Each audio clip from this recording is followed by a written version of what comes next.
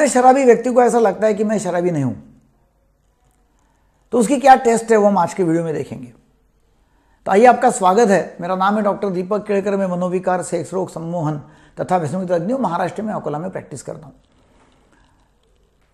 देखो, उत्सव में, कोई सोशल फ़ंक्शन में, कोई पार्टी में, दोस्तों के साथ में, लोग जो शराब पीते हैं उनको बोलते हैं सोशल ड्रिंकर। छह प्रतिशत में से सिक्सटीन परसेंट लोग मतलब एक व्यक्ति छः में से एक व्यक्ति छः में से एक व्यक्ति उसमें का शराबी बन सकता है या अल्कोहल एडिक्ट बन सकता है। और हमको ये मालूम नहीं कि कौन सा व्यक्ति अल्कोहल एडिक्ट बन जाएगा। इसका मतलब सोशल ड्रिंकर जो है, वो कभी भी उसमें के छः में से एक व्यक्ति कोई भी सोशल मतलब वो सोशल ड्रिंकर में का अल्कोहल एडिक्ट बन जाएगा या बन सकता है। अभी हर व्यक्ति को ऐसा लगता है कि मैं तो इतना नहीं पीता हूँ। उसकी क्या टेस्ट है? एक ऑर्डिनरी सामान्य लेवल पे हम क्या देख सकते हैं कि भाई कौन सी टेस्ट है? कि जो टेस्ट हम उसको देते हैं या सवाल करते हैं तो उसमें के सवाल में से कोई जवाब हाँ में आते हैं तो हम बोलते कि नहीं, उसको शराब की लत है या शराब का व्यसन उसको लगा हुआ है। तो उसका एक्रोनिम है cage C A G E cage C A G E cage तो सी मतलब क्या? सी मतलब यह है कि क्या शराबी व्यक्ति को व्यक्ति को ऐसा लगता है कि मेरी मात्रा बहुत ज़्यादा ज़्यादा हो रही है और मैंने मेरी शराब का जो जो मात्रा है या शराब लेने का जो अमाउंट है, वो मैंने कट करना चाहिए कट डाउन करना चाहिए, कम करना चाहिए। तो ये पहला एक सवाल है। दूसरा सवाल है, क्या मैं यदि कोई ऐसा कुछ बोलता है कि तू शराबी है या शराब जो बहुत ज़्यादा पीता है तो क्या वो व्यक्ति गुस्सा करता है? तो गुस्सा यदि करता है, इसका मतलब एक वो सवाल है कि जिसका जवाब यदि हाँ आता है तो उसको एक पॉइंट दिया जाता है।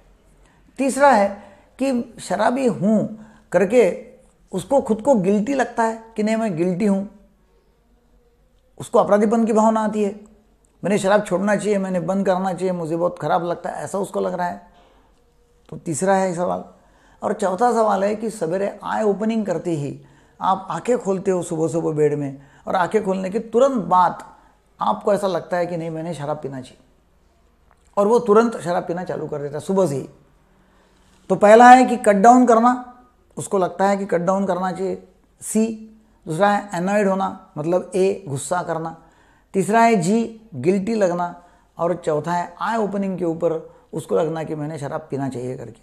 तो ऐसे ये चार में से यदि दो सवालों के जवाब यदि हाँ हैं तो इसका मतलब ये है कि वो शराबी है और उसको शराब का व्यसन है एडिक्शन है, उसने ट्रीटमेंट लेना चाहिए।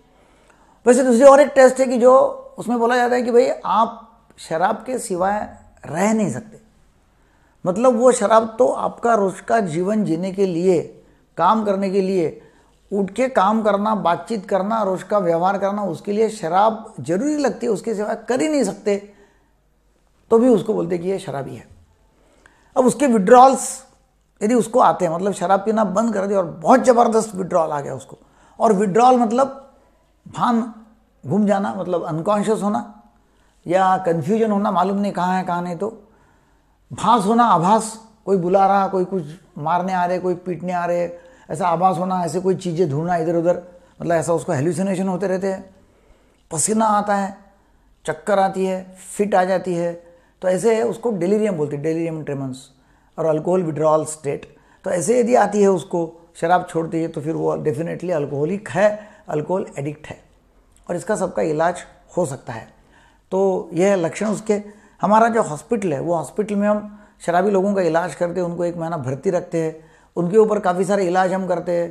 काउंसिलिंग है, साइकोथेरेपी, फिर अल्कोहलिक एनोनिमस की मीटिंग्स हम लेते हैं।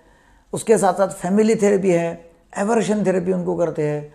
फिर उनको जब विड्रॉल आता है तो उसके लिए फिर आईवी फ्लूड्स देना, दवाई देना और फिर जाने के समय जब वो जाता है हॉस्पिटल से छुट्टी लेके जाता है तो उसको डायसलीफ्राम की गोली देते हैं कि जो सुबह शाम गोली लेना चाहिए उसने।